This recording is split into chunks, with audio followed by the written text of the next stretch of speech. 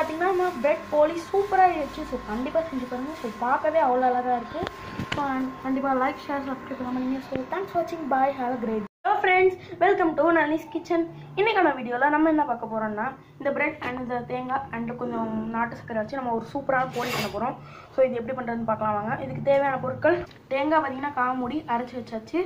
Next பார்த்தீங்கன்னா bread நாலு. நான் நாலு எடுத்திருக்கேன். உங்களுக்கு எவ்வளவோ அதுக்கு தகுந்த மாதிரி ஸோ நாலு பிரெட்டுக்கு இந்த அளவு. ஸோ உங்களுக்கு அப்படியே மல்டிப்ளை பண்ணிங்க. பார்த்தீங்கன்னா ஒரு ஃபஸ்ட்டு பார்த்தீங்கன்னா ஒரு பேனில் நம்ம நெய்யை வறுத்துடலாம்.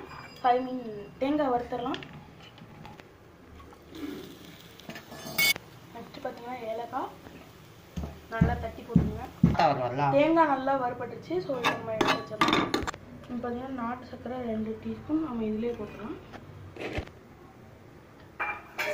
சொல்லிடு. ஸோ இப்போ பார்த்தீங்கன்னா நம்ம ப்ரெட்டை நனைச்சி எடுத்துகிட்டு வந்துடலாம்.